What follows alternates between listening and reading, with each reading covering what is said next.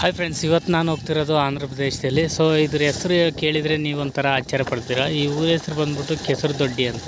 ಅದಾದ ನಂತರ ಮಕರ ದೊಡ್ಡಿ ಈ ಥರ ಹೆಸರುಗಳು ತುಂಬಾ ಇದೆ ಫ್ರೆಂಡ್ಸ್ ನಾನಂತೂ ಈ ವಿಚಿತ್ರವಾಗಿ ಹೆಸರುಗಳನ್ನ ಇದೆ ಫಸ್ಟ್ ಟೈಮ್ ನಾನು ಕೇಳ್ತಿರೋದು. ಈಗ ನಾನು ಹೋಗ್ತಿರೋದು ಕೆಸರು ದೊಡ್ಡಿಯಿಂದ ಮುಂದಕ್ಕೆ ಹೋಗ್ತಾ ಇದ್ದೀನಿ. ಬಟ್ ಮುಂದೆ ಹೋಗ್ತಾ ಇರಬೇಕಾದ್ರೆ ನನಗೊಂದು ಆಶ್ಚರ್ಯವಾದಂಥ ಒಂದು, ನೋಡಿ ಇದು ಏನು ಮರ ಅಂತಲೂ ಒಂದು ಅರ್ಥ ಆಗ್ತಾ ಇಲ್ಲ ನನಗೆ. ಬಟ್ ನೀವೇನಾದರೂ ಗೊತ್ತಿದ್ರೆ ಹೇಳಿ. ಯಾಕಂದರೆ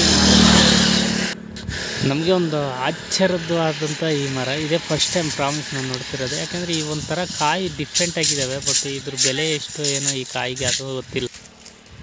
ಇವ ಇದ್ಯಾವ ಕಾಯಿ ಅಂತಾರಲ್ಲ ಓ. ಬಿಲ್ಬಿತ್ರ ಕಾಯಿ ಅಂತಾರಲ್ಲ ಅವೇನಾ? ಅವು ರೌಂಡ್ ಆಗಿರ್ತಾವ ಬಿಲ್ಬಿತ್ರ ಕಾಯಿ ಇವೇನೋ ಗೊತ್ತಿಲ್ಲ. ಬಿಲ್ಬಿತ್ರಿಕಾಯಿ ಅಲ್ಲ ಇವು ಹ್ಞೂ? ಇದೊಂಥರ ಮಾವಿನ ಗಿಡ ಥರ ಇದೆ. ಫ್ರೆಂಡ್ಸ್ ಈ ಕಾಯಿ ಹೆಸರು ಏನಾದರೂ ಗೊತ್ತಾ ನಿಮಗೆ? ಈ ರೋಡಲ್ಲಿ ಹೋಗ್ತಿರ್ಬೇಕಾದ್ರೆ ಕಂತು. ಏನು ಅಂತ? ಎಷ್ಟಪ್ಪ ಇದೆ? ಹಾಂ ಬಿಲ್ಬಿತ್ರಿಕಾಯಿ ಏಯ್ ಹಾಂ. ಬಿಲ್ಬಿತ್ರಿಕಾಯಿ ಅಲ್ಲಮ್ಮ ಇದು. ಪಕ್ಕ ಬಿಲ್ ಬಿತ್ತಿರ್ಕಾಯ?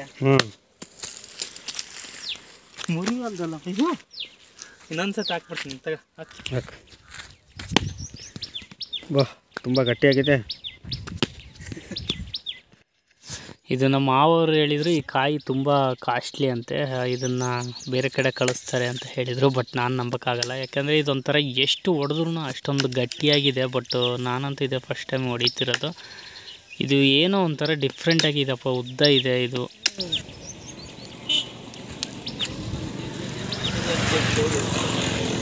ಏನು ಕಾಯಿ ಇದು? ಏನು ನೋಡು ತಿಂದು ನೋಡು.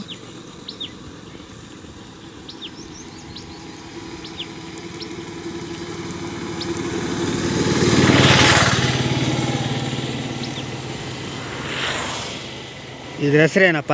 ಹುಣಸೆ ಹಣ್ಣು ಥರ ಬರುತ್ತಿದೆ. ನೋಡಿ ಎಲೆ ತೋರಿಸ್ತೀನಿ. ಓಕೆ.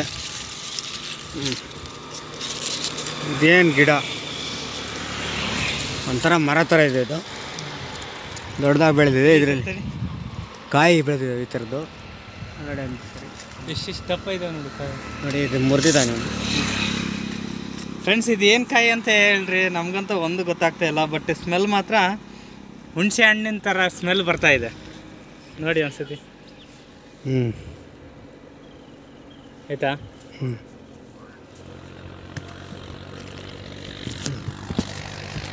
ಇದೇ ಮರ.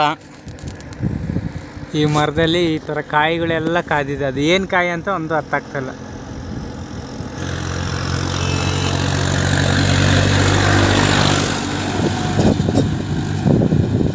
ಏನು ಕಾಯಿ ಮಮ್ಮದು ಕಾಯಿ ಹೆಸರು ಏನು ಯಾರಿಗಾದ್ರೂ ಗೊತ್ತಿದ್ರೆ ದಯಮಾಡಿ ತಿಳಿಸಿ.